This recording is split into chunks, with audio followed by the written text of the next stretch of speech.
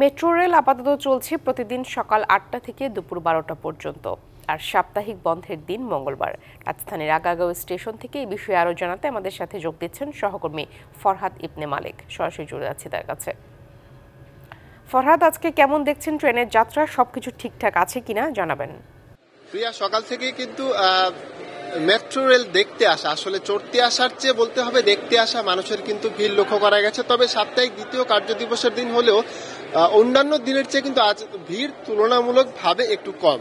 এর কারণ হয়তোবা যে সবাই আগ্রহী যাত্রী যারা ছিলেন, বেশিরভাগ মানুষই মেট্রো রেলে চড়ে ফেলেছেন বা অনেকে হয়তো বা কর্মব্যস্ততার কারণে আসতে পারছেন না, যেহেতু কর্মদিবসের দিন। আমরা দেখতে পাচ্ছি যে অনেকেই কিন্তু এপাশে চলে এসেছেন। যারা টিকিট যারা কাটার লক্ষ্যে যারা আছেন, টিকিট কাটছেন, অনেকে টিকিট কেটে এসেও গেছেন। অনেকে উচ্ছ্বাস প্রকাশ করছেন যে দেশের এই একটা বড় একটা মাইল ফলক স্পর্শ করেছে, যা একটা একটা বলতে গেলে একটা আনন্দের বিষয়। অনেকে খুশি প্রকাশ করছেন, আবার অনেকে বলছেন যে আগামীকাল মেট্রো রেল বন্ধ থাকবে কিনা তা তারা জানেন না। কর্তৃপক্ষের সাথে আমরা কথা বলার চেষ্টা করেছি। তারা আমাদেরকে এখনও পুরোপুরি ভাবে বিষয়টা জানেন আমরা একটু কয়েকজনের সাথে একটু কথা বলতে চাই যে মেট্রো রেল নিয়ে। আপনি কি আজকে প্রথম? হ্যাঁ প্রথম আজকে আমি। ট্রেনে উঠেছেন? ট্রেনে উঠছি আমি। কেমন লাগল ট্রেন কেমন ওঠে আমার অনেক ভালো লাগছে প্রধানমন্ত্রী আমাদের এখানে মেট্রো রেল ট্রেন দিছে আগারগাঁও থেকে উত্তরা অনেক ভালো লাগল উঠে আমাকে। পরিবেশটা অনেক সুন্দর অনেক ভালো লাগল। ধন্যবাদ। আমরা একজন বয়োজ্যেষ্ঠ মানুষের সাথে কথা বলতে চাই কেমন লাগছে?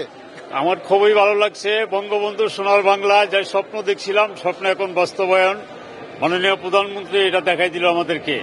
আমরা উন্নত বিশ্বের মনে উন্নত বিশ্বে আছি আর কি এরকম আমরা বুঝতে পারতেছি এখন।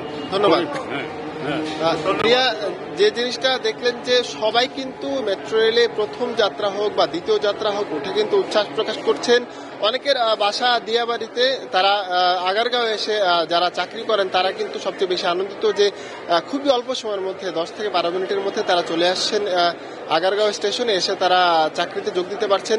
তো সবার মধ্যে একটা উচ্ছ্বাস, উদ্দীপনা কাজ করছে। আগামীকাল বন্ধের বিষয়টা এখনও পুরোপুরিভাবে জানা যায়নি, তবে আশা করা যাচ্ছে আগামীকাল হয়তো বা রক্ষণাবেক্ষণের বিষয়ের কারণে বন্ধ থাকতে পারে। তো প্রিয়া, এখন পর্যন্ত এই ছিল আমার কাছে সর্বশেষ। প্রিয়া।